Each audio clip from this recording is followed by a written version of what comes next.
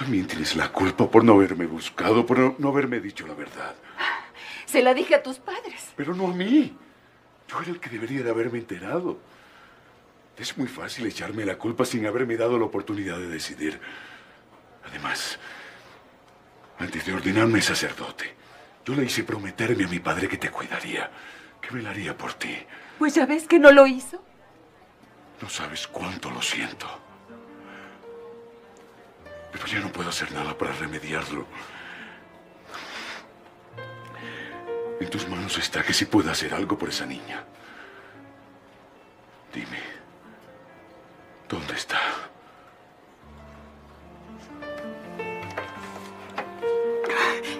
La abandoné.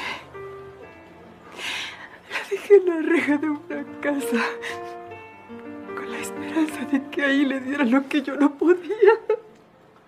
No supiste nada más. No regresaste nunca a aquella casa. Sí, sí, fui después.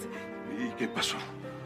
La familia vendió la casa y se fue a vivir al extranjero.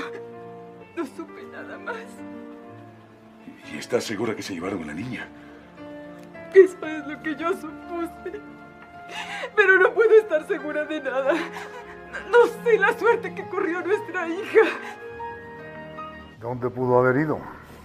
Seguramente con el vago ese bueno para nada con el que sale. Entiende que lo importante es encontrarla. Lisbeth nos necesita más que nunca. Deja ya de criticarla. Claro, ahora la culpable soy yo. Vas a comenzar a recriminarme que la consentí demasiado, que debería estar más al pendiente de ella. No te estoy recriminando nada.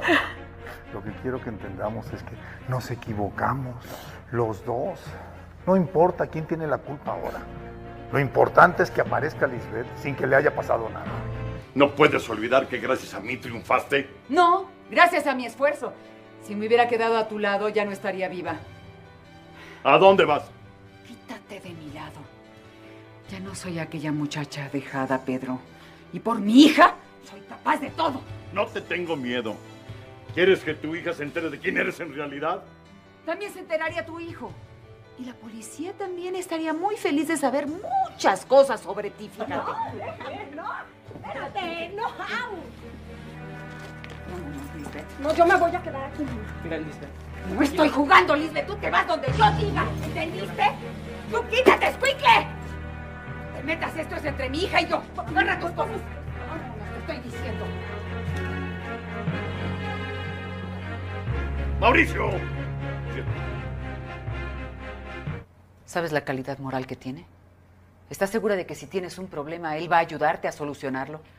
¿Que si cometen un error entre los dos, él va a asumir su parte de responsabilidad? Ay, a mí no sé.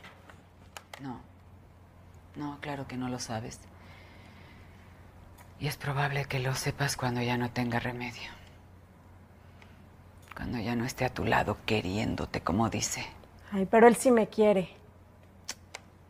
Hija, en estos casos, quien lleva siempre las de perder es la mujer. La que siempre sale perdiendo es la mujer. No digo que todos los muchachos sean iguales, pero, pero ¿para qué te arriesgas? Lisbeth, primero conócelo.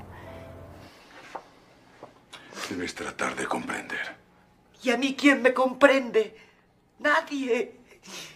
Tú ya no me quieres. Me odias.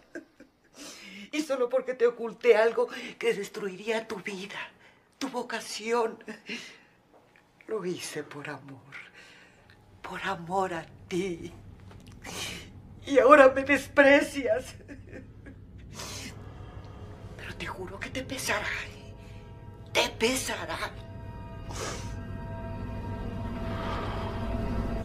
que me ha regalado el privilegio